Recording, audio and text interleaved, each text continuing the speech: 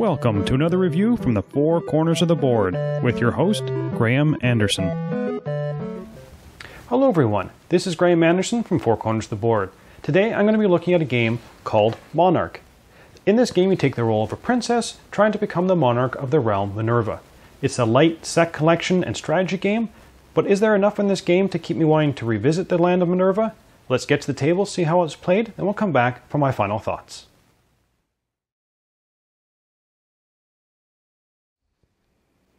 So here we have Monarch all set up. The first thing you're going to be doing is taking out 9 out of the 12 supply tiles and place them in the land section here. Uh, there are two different types of tiles. There's farms, which are going to be collecting food, and villages, where you're going to be collecting money. You're going to be laying out five cards, which is the market, and then laying out the banner cards, which players can claim during their turn. To start the game, each player is given five gold and five food. Now, on your turn, you're going to be either taxing or harvesting from the lands, and then buying as many cards as you want, and you can also wipe out the market if you desire. So, to harvest or tax, to harvest, you're going to be taking uh, whatever the tiles say here. This one says one, so if I'm going to harvest, I'm going to get one, two, three, four, five food. If I wish to tax, I have to pay one food for every village that there is. So right now there's four villages, so I'd have to pay four food, and I would collect whatever coins that the villages say. At the beginning, each village is only going to supply one, so I'd get four coins back. Once I've done that, I can buy cards, and there are four different types of cards. The first type of card is a guest card. that will give you the cost up on the top right hand corner here, and they'll give you how many victory points you're going to be getting, which is the, uh, the crown icons in the middle, and any kind of special abilities that, that they will give you. There are four different suits of cards. There are culture cards, bounty cards, might cards, and wisdom cards. And when you purchase a guest card, like this one here, you're going to place it in front of you, your tableau, and this is your court area. As soon as someone has seven cards in their court area, finish the round, and then you'll be counting victory points and the game will end. The second type of card you can purchase from the market are kind of land upgrades. There are both farm and village upgrades. So this one is a uh, village upgrade. And again, you'll pay the cost in the top right hand corner and you will apply it to one of the villages. Now a village upgrade can of course only go on a village and a farm upgrade can only go on a farm. So we can place that here. Uh, you can purchase cards uh, before you tax or harvest or after. It doesn't matter which one. You can, and you can purchase as many cards as you want from the market, uh, but you can only ever tax and harvest once per round. So now if I was going to tax, uh, I would still only play for food, but now I'd get four gold from the upgraded village and then five, six, seven. So I would get seven uh, gold in return. The next type of card is a, uh, a moon card, which kind of looks like this. As soon as you flip one of these over when you're refilling the market, you're going to action it right away. You're going to be doing whatever it says and then discarding this from the game. Uh, usually these cards are either negative or positive. Sometimes they will be, you know, as a group you have to discard so many, let's say food. As a group you must discard five food and then everyone will get three gold in return or something like that. Uh, the last type of card is called an unwanted guest. And again, you're going to be paying the cost in the type right hand corner, and you're going to be giving this to someone else because they will give you minus points at the end of the game. These do not count towards the seven people in your court, these are in addition to that. The last thing you're going to be doing that you could do is as soon as you get two cards of one type, you can declare that you're going to be following one of these banners. And each banner will tell you what the, re- the requirements are to get it, uh, and then they'll give you a kind of usually a special ongoing bonus and ways to score victory points at the end of the game. Once someone has seven cards, you're going to be adding up all the victory points from your court cards, from your banner cards, and then whoever has the most victory points is the winner. So let's get back to the table and see what I thought about Monarch. So, how does Monarch stand up? Well, you know, looking at this box, looking at the tiles, and especially reading the back of the box, I'm expecting some dark, you know, heavy strategic game.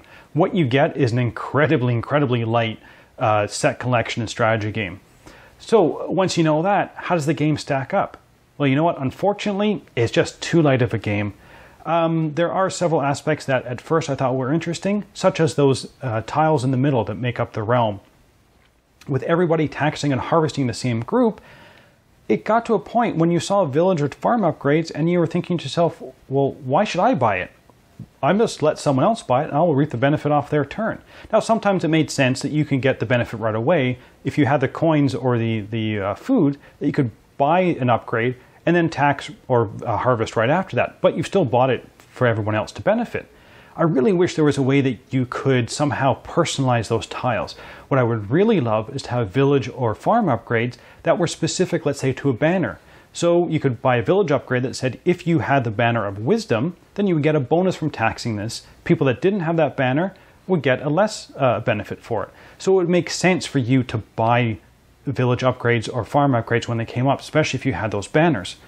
But the way it works is you were just kind of waiting for someone to pull the trigger. You didn't want to spend the resources because you knew when it came back around to you, you'd get the benefit from someone else spending the resources.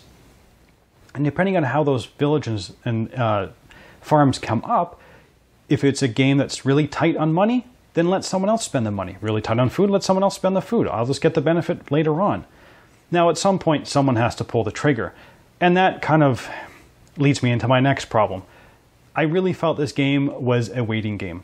Once you bought your first card, or especially once you got your first banner, you were just waiting for your cards to come up.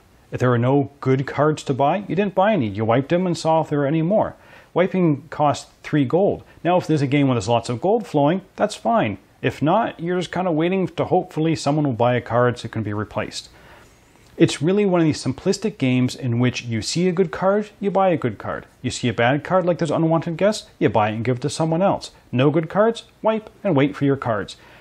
It's a just a long kind of waiting game. The game can last 30 minutes to 45 minutes, and really after the first couple rounds, once you bought your first couple cards, you're just waiting for the next half hour. Oh, I have no cards here? Well, what am I going to do? Collect resources and wait for maybe cards to come up? So really, I can't recommend Monarch. I really ended up not enjoying this game at all. It's just too simplistic. There's not enough substance to this game to really make it worthwhile recommending. Now you might think, hey, but it looks like a good introductory, you know, light family game. And it the first time I played it, I thought, hey, it's not bad. But the more I played it, the more I realized how much it lacks in substance. I could see this game, even as a light introductory game, playing it a couple times, but there's nothing that's going to keep you wanting to come back to this game. And that I think is a big detriment to this game. So I can't recommend this game, but as always, thanks for watching. Thank you for watching another review from the Four Corners of the Board. Please like and subscribe to these videos. You can also follow us on social media, email us directly, or check out our website at fourcornersoftheboard.com. Thanks so much for watching the Dice Tower videos. Find more great videos and reviews as well as our top-rated audio podcast at Dicetower.com. You can also find other great shows at Dicetowernetwork.com. I'm Eric Summerer, and you've been watching The Dice Tower. The Dice Tower is sponsored by Cool Stuff Inc., where you can find great games for great prices. Cool stuff in stock. Check them out at coolstuffinc.com.